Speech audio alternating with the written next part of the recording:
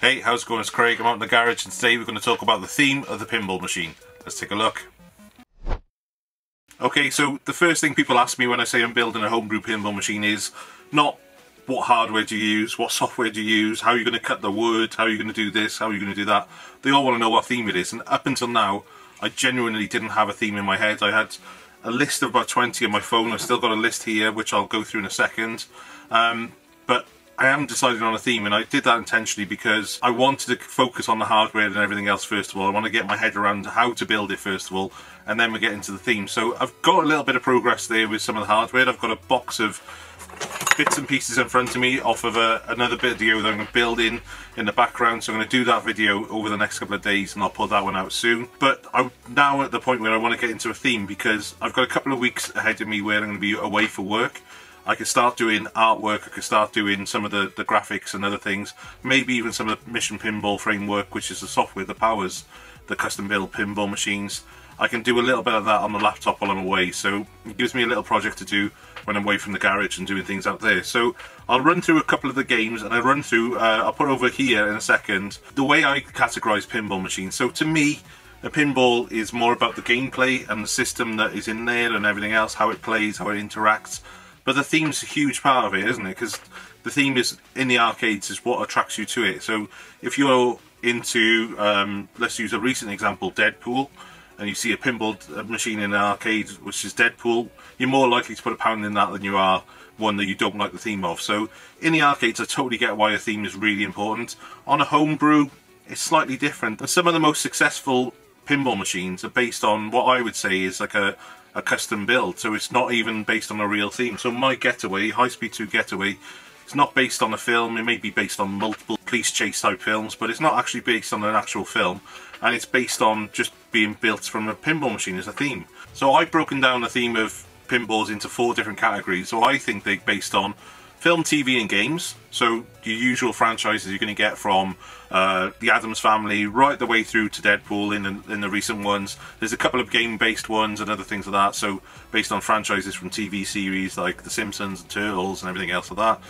Um, then I think you've got your dad rock era, which I'll, I'll, class as ACDC, Metallica. People are probably cringing now when I'm calling it dad rock, but it is dad rock. Even my Getaway has got um, uh, ZZ Top is the soundtrack on it. I wouldn't class it as a dad rock game, it's more of a custom game, and we'll get onto that category in a minute. But dad rock era, I think, is another category of pinball machines and pinball themes that has been around for a long time and is still going. So the recent Guns N' Roses by Jersey Jack is a really good example of a dad rock game. I think anything that has got a good soundtrack and you can put money into, you're getting the music playing out of it is part of the attraction of playing that game. So that's another category, I think. Then you've got your custom. So let's go to custom next. So custom is your things like your getaways, your fishtails, all of those kinds of games which haven't been based on a film or maybe loosely based on a film. That one I showed from Pinfest the other week, uh, I can't remember what it was called, Golden Wing or something like that. It was clearly based on Top Gun, but um, we'll put that in a custom bucket as well because I think it, it wasn't truly based on a film or TV series or music or anything else. It was just a custom build. Uh, things like Arabian Nights I think is a custom uh, theme. I don't think it's based on a, film or anything else. I know that one again at Pinfest was themed into Aladdin afterwards. Maybe that was the theme that they were originally thinking of. Um, then you've got loads and loads of others which are out there. Some of the most popular pinballs are not based on uh, existing material out there. They're based on totally made up items. So personally for me I wanted to include at least one custom theme for me and I'll talk about that in a minute because I think it's quite a nice theme. Maybe it won't go ahead, maybe it will. Um, I got an idea for the follow-on theme from that as well but let's let's not run before I can walk as, as I'm getting told on forums and things like that. Um, we'll take this one step at a time. So the final category, it's a bit of a loose one because it could go into custom, it could go into another area possibly, but that's brands, and I think brands sums it up quite well. So it's things like No Fear, No Fear based on the adrenaline sports type of area, um, Corvette, Ford Corvette, and there's a load of um, different car and other brand ones, I think, which exist out there. So that's my fourth category, and I think I don't really want to touch on a brand type area. It's too dodgy. Doing a homebrew pinball into a theme that is existing of somebody's franchise is always going to be a little bit on the the iffy side. If it's for your personal use and everything else, I don't think you're going to get into any copyright claims or anything else.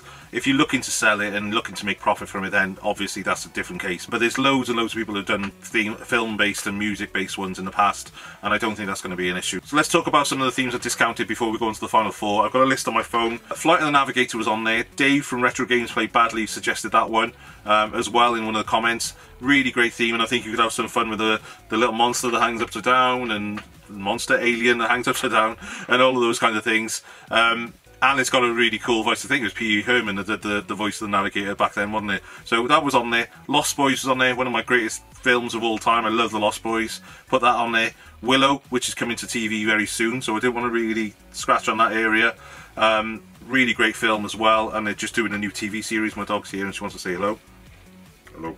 Then I thought of going down that rock type era and doing a slightly different twist on this. So I came up with a jukebox idea. So rather than sticking to one band, maybe going down the now through, uh, route and go into a 90s rock jukebox or something like that, where you could select your track and go through a couple of different tracks and different tracks and lock them and different gameplay, so I thought that could have been quite cool. Garbage Pail Kids, based on a, a product rather than a, a, game or a film. Well, it did have a film, but wasn't really known for that. I thought Garbage Pail Kids could have been quite cool.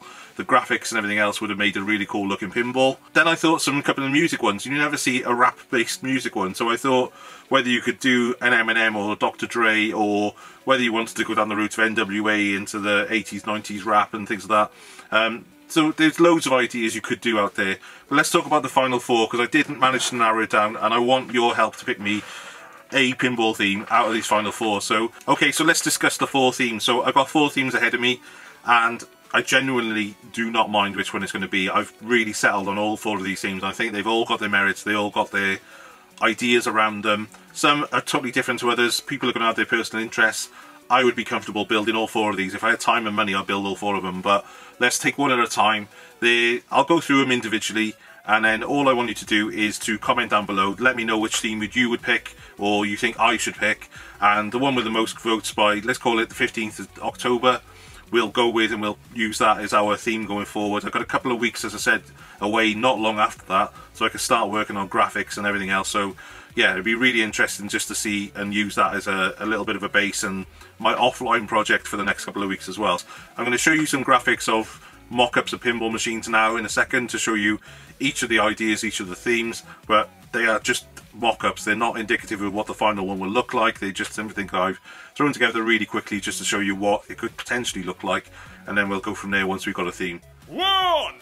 Okay, so option number one is a, classic 80s film uh, series. So I say I'll call it a series. There's two films. Uh, Short Circuit 1, Short Circuit 2. They didn't really go creative on the titles of those, but absolutely amazing films. And I loved Johnny Five, I loved the, the films the, around these when I was growing up. And I watched Short Circuit again the other night. Absolutely love them. And I think the amount of one-liners in there are absolutely amazing. I got loads of ideas I could put in there for themes in the pinball machine itself, um, from both Short Circuit 1 and 2, clips that we can take out of the movies, put on the display, um, there's loads in there, loads of sound bites and everything else, so it's a really cool theme. I think the opportunities with doing something like Short Circuit are huge. We could even get into doing the back box with a 3D printed version of Johnny Five's head, getting moving with servos and do all these other cool things. And there's some really cool YouTube videos out there of people who made full-size Johnny Fives and take them to expos and things like that. I'm not going to go that far, but maybe we could incorporate some of those elements into the pinball machine if we wanted to go down that route. So that's option number one, and I think it's a really cool option, but don't make your mind up yet. Let's have a look at option number two. Two! Okay, so option number two is Gremlins, another classic 80s uh, TV film franchise, and I think, again, I'd mix it with the different films and not keep it just to the first one. I think there's an opportunity here to use clips and the different gremlins from the different films, keeping with obviously you would play as um, either Billy or whether you play as Gizmo, I don't know. We'll, we'll do a, a, bit of gameplay thinking if we get into using this theme, but yeah, there's a really cool option here. There's loads of great sound bites from the films, loads of great characters we can use in a pinball theme. So if you like Gremlins and you think that's a really good theme, obviously wait till the end of the video once you've seen all four options, but keep that in mind and maybe stick that down as your comment down below. Again, I'm really happy if I was doing a Gremlins based theme. I've seen one that somebody done an old EM version of a pinball machine and redone that into a Gremlins theme, um, but I've not really seen anyone with a modern version of it. I think it's got potential of being a really good theme, but wait until you see the other two and then we'll make a call right at the end of the video on which one to vote for. Three. So option number three, this one is a bit of an obvious one for me and I, I, I imagine it's probably obvious for a lot of people and I've seen somebody do a retheme on this theme previously. So they didn't do a full build they've taken another cabinet and I think they've rethemed it and painted it. Um, done a little bit of a job to make it look like this film and it's Labyrinth and Labyrinth is one of those films another one of those films. I've I think I've got all of these films over here on VHS so that gives you a little bit of how how comfortable I am with going to these films. They're all films that I grew up with and Labyrinth is no exception to that. It's a absolutely amazing film it's one that we watch probably twice a year and it's just classic. Can you imagine the David Bowie soundtrack in there? You've got the Labyrinth, the maze itself. You've got some really cool characters from uh, the snail right the way to Ludo, and uh, you've got the Bog of Eternal Stench. You've got loads of things in there that I think could be really cool from a pinball machine perspective. So yeah, that's another really good theme that I think that we can have a bit of fun with. I don't know around the, the styling of the pinball table and things like that and what kind of toys we could put in there, but it's got quite a few cool options in there. I think that one's probably my wife's favourite at the moment. I think I've run these four options past her, and Labyrinth was the one that she would have picked. So, not trying to influence anyone on that. We've got one more theme to talk about in a second, but Labyrinth's a very cool theme, and I'd be so totally happy to get on with doing that. I even quite like the artwork that I've done on the mock-up. That you've got the, I think it's from the scene when they're all hiding in the cupboard, and all the the, the labyrinth trolls and whatever they are, are hiding in the cupboard, and she's talking outside of it, and it's right at the beginning of the film, and I think that looks really cool. There's a, a bit of a dark artwork on this on the cabinet side, but I want to have a look at the artwork anyway. I'm going to spend a lot of time getting into the detail, getting some high-res images and things before I get into anything being printed. Let's have a look at the final option before we make a decision, and I think this one's a really cool idea. So let's get on to number four. Four. Okay, so option number four is very different. So those three I would class into your movie, TV, and game category. This one is a custom build. So this one is probably the safest one I could do, and it's probably the one that I could do from, if I wanted to do multiple and sell them, I could do this as a theme going forward. I really like having the idea of having a custom theme because you've got things like Total Nuclear Annihilation I've mentioned on I think every single pinball video that I've talked about. That went from being a um, idea, a custom build, right the way through to being a commercial build. So that's a good idea of what you could do if you do it with a custom build.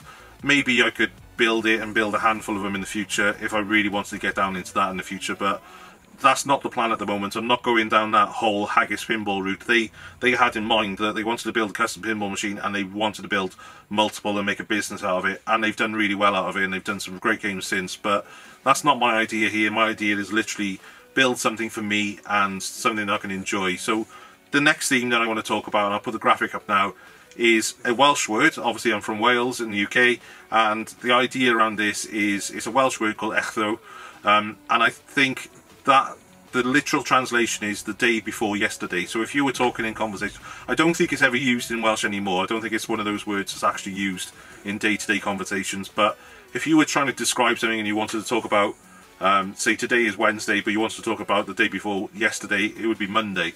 So I really don't know where this word is coming from, but there's also the, another word, and I'll have to get this one off my phone, Trennydd, and that means the day after tomorrow, I think it is. So I had this idea of doing two two items. It could be that the game I pinball I do now is Echddoe, which is the day before yesterday. I've got an idea around the theme for that, and then a second one, Trennydd, which is the day after tomorrow, I believe.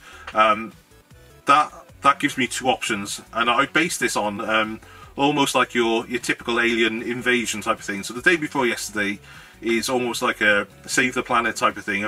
Maybe even the re revenge from attack from Mars or those kind of things where you're trying to save the planet. And those ones you've got to try and save Paris and New York and things from the aliens.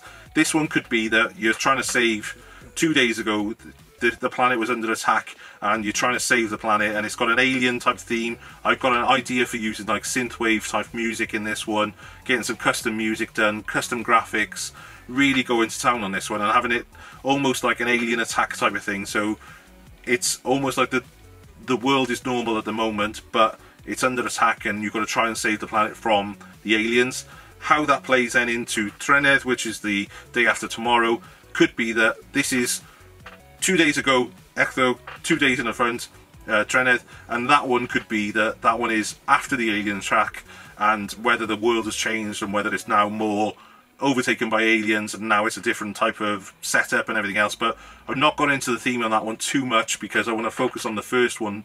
If I were to go down this route as a, a theme I think that one could be a really cool one. And again as I mentioned most of the pinballs that I've played and loved things like Fish Tales and uh, other games like that they are based on themes. They're not based on actual movies or anything else.